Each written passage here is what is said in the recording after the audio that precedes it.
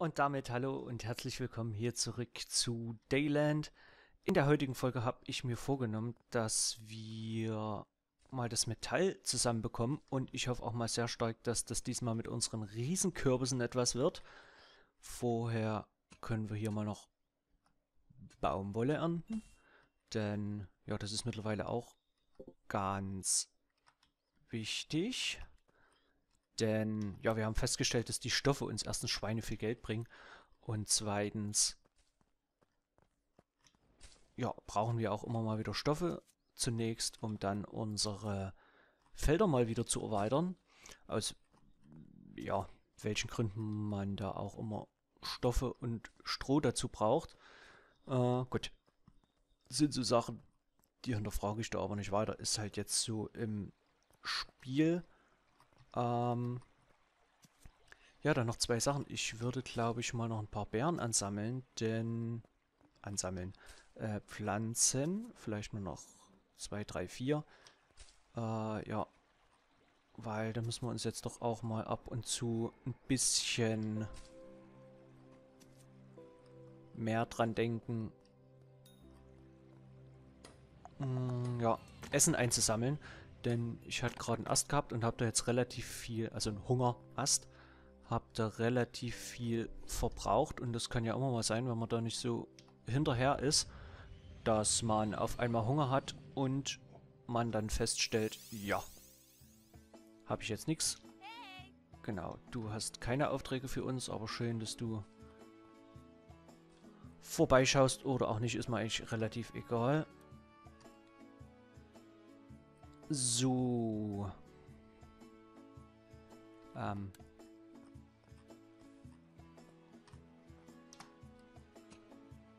Das dahin, das sollten wir hinten noch an den rankommen.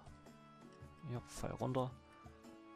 Um, um, um, um, ja, gut, dann müssen wir natürlich auch gucken, dass wir da nah genug am Wasser sind und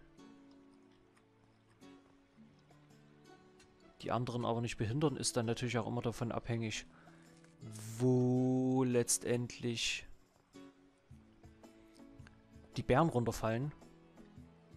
Das kann, die können schön nach vorne fallen, dass wir da super rankommen. Oder halt auch äh, so fallen, dass wir da jetzt nicht rankommen, obwohl die 99% ringsrum begehbar sind.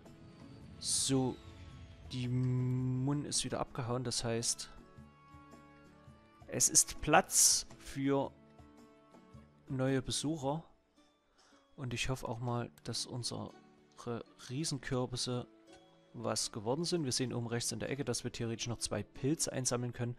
Da begebe ich mich jetzt aber nicht so explizit auf die Suche danach. Und das... Uh, zwei andere Nutzpflanzen, also Pflanzen bei uns auf den Feldern. Hm. Das scheint auch wieder nicht so richtig was geworden zu sein.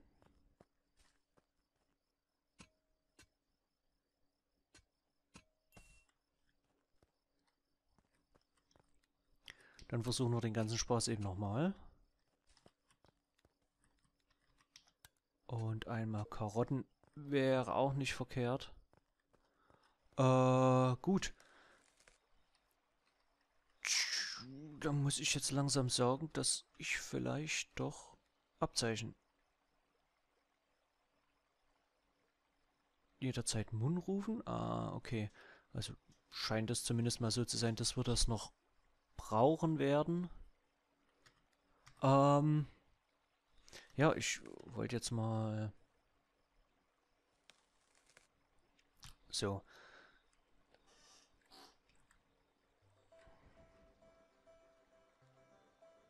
Lasse den Mond auf sie scheinen. Muss man da aktiv noch irgendwas machen? Ernte einen Riesenkürbis für Locke. Pflanze die Samen in der Nacht und lasse den Mond auf, lasse den Mond auf sie scheinen. Das, Also kann ich denn da noch irgendwie selber aktiv den Mond scheinen lassen, auf die drauf scheinen lassen? Oder ist das wirklich halt, ich muss bloß drauf achten, dass der Mond scheint? Da wäre halt mal eine weitere Erläuterung cool. Ansonsten, wie ich sehe, hast du eine Küche zu einem Haus, zu deinem Haus hinzugefügt. Gut gemacht. Ja, das habe ich aber schon äh, ewig.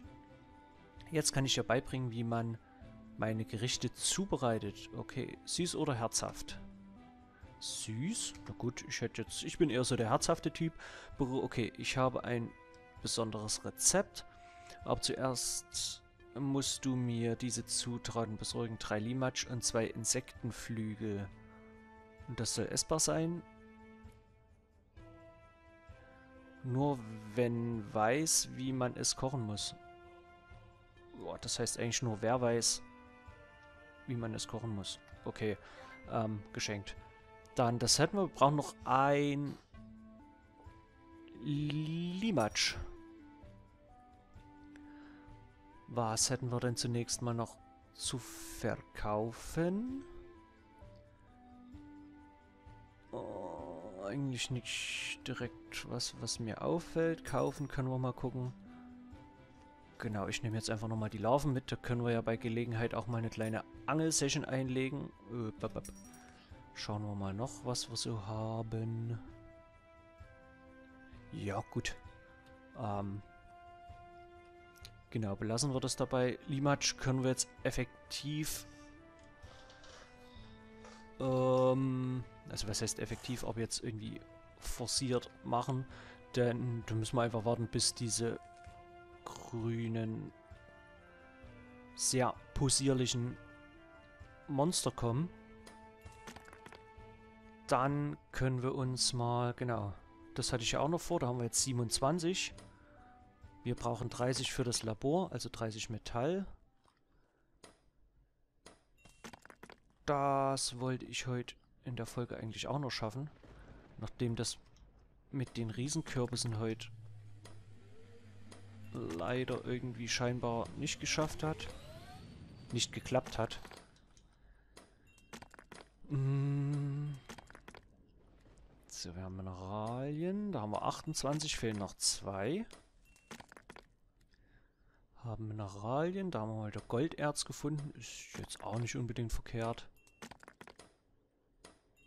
So, der Stein hier scheint schon sehr ergiebig zu sein. 29. Fehlt quasi noch einer. Eins Metall. So. Und...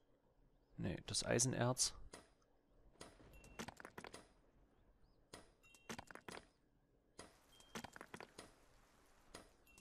Das will ich jetzt unbedingt noch schaffen.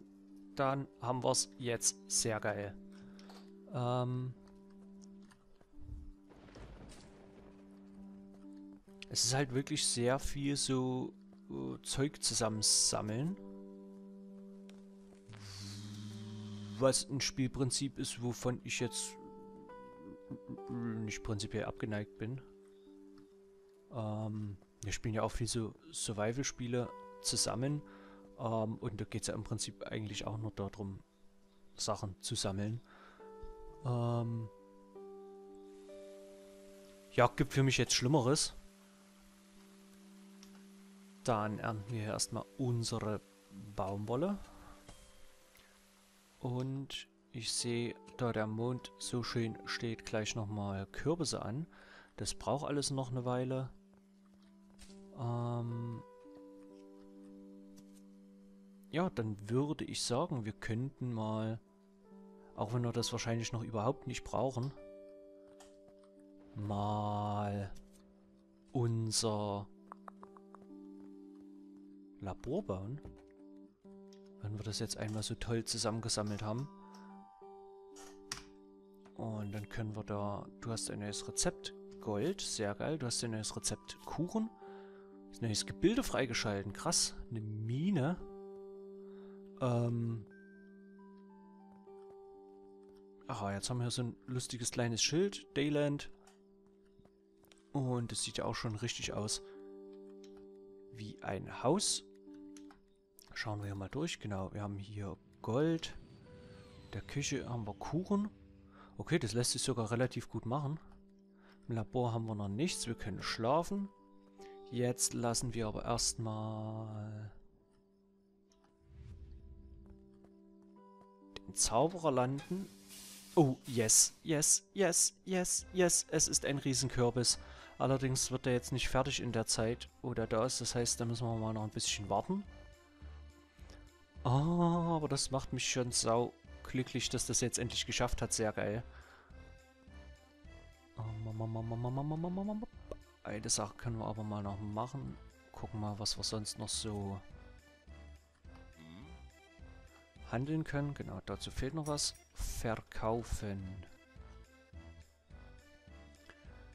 Ähm, ja, die Stoffe können wir im Prinzip auch erstmal verkaufen, denn wir haben ja auch noch kein Stroh, um unsere Felder dann mit den Stoffen, dem Stroh und dem Kürbis zu erweitern. Was, wenn man sich da reindenkt. Ja gut.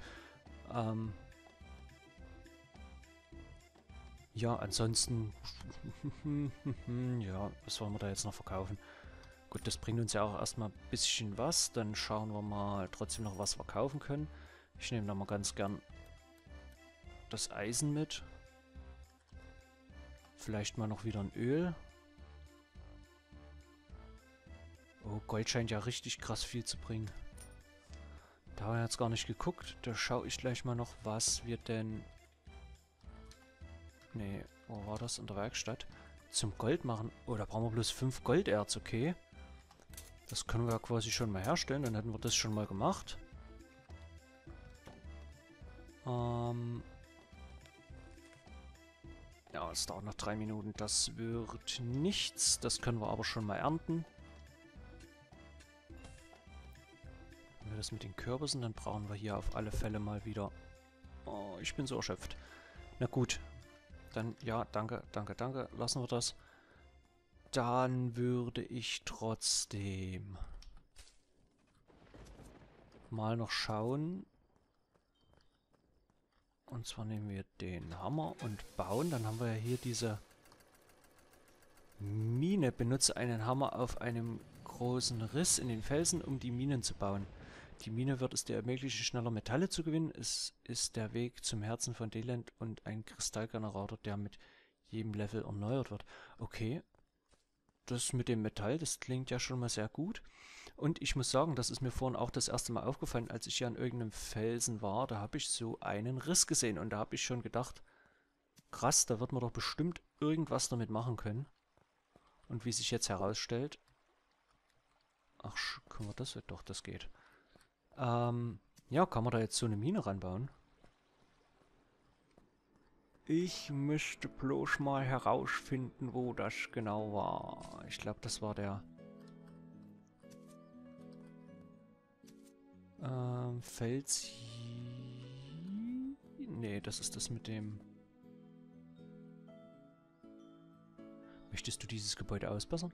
Okay, was kann ich denn da ausbessern? Okay, okay, okay. Das können wir dann vielleicht auch mal machen. So, der hier war es. Hier war rings... Äh, da. Genau, hier haben wir so ein... Eine Mine bauen. Oh, da brauchen wir ja gar nicht viel dafür. Zwei Seile. Das lässt sich doch dann jetzt demnächst auch mal machen. Müssen wir doch mal wieder noch mehr Baumwolle anbauen.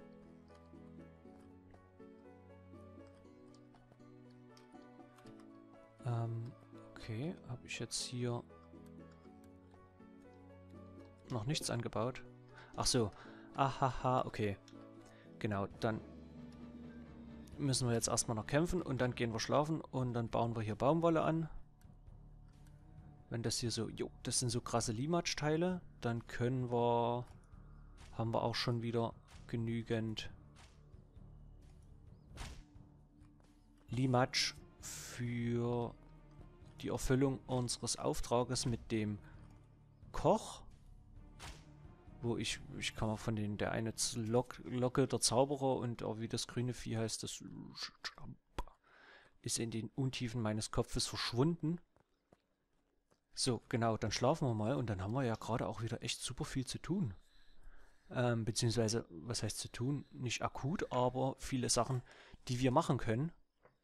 Ähm, ja, ich würde sagen, das machen wir dann aber erst in der nächsten Folge. Ich bedanke mich fürs Zusehen. Ich hoffe, ihr seid das nächste Mal wieder mit dabei, denn ja, jetzt geht's ja gerade wieder ganz schön ab. Also bis dahin. Ciao.